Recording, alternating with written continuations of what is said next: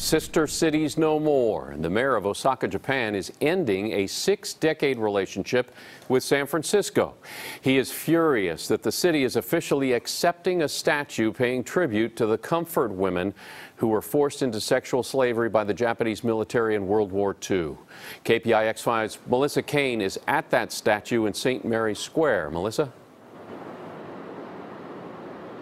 Yeah, Alan, we're here at the Comfort Women Memorial in San Francisco. Now, when this statue was unveiled about a month ago, this whole area was private land. But because of an unrelated transaction, this whole area just became public land, and that means that's a public statue, an expression of the citizens of San Francisco. And that change of facts is what has the mayor of Osaka threatening to sever sister city ties with San Francisco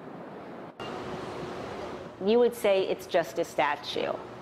However, I think that we can see from all of the stuff that's gone on around statues in this country about the Confederacy, how important statues are. Judith Mirkinson is the president of the Comfort Women Justice Coalition. She says Japanese leaders deny that they enslaved women for sex during World War II, claiming that women weren't coerced or that the numbers were very small or worse.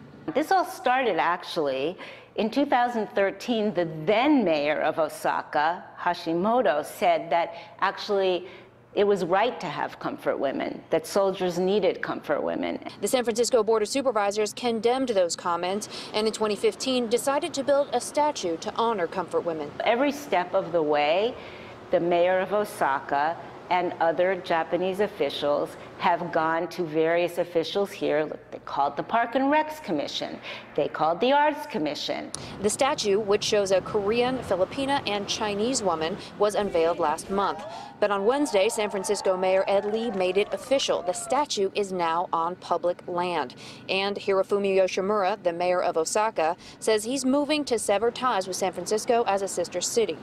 Now, Hiroka Matsura is from Osaka. She says Yoshimura is right. I think, like, you know, the Osaka mayor did a really good job, you know, from the Japan side. She says Japan has done enough. And saying sorry and stuff, so. And they are still, you know, saying stuff, and we're giving them money every year, and it never goes away. You know what? I wish this would end too. The victims, this long search for justice for them is so tiring.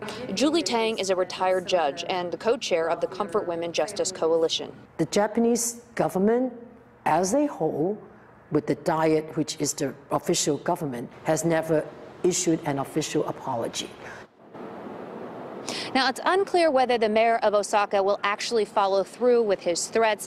We've learned that the city is trying to be awarded the World Expo in 2025, and there's some concern that picking a fight with San Francisco over this issue will bring unwanted attention to that city, preventing it from being awarded the World Expo. Live in San Francisco, Melissa Caen, KPIX 5.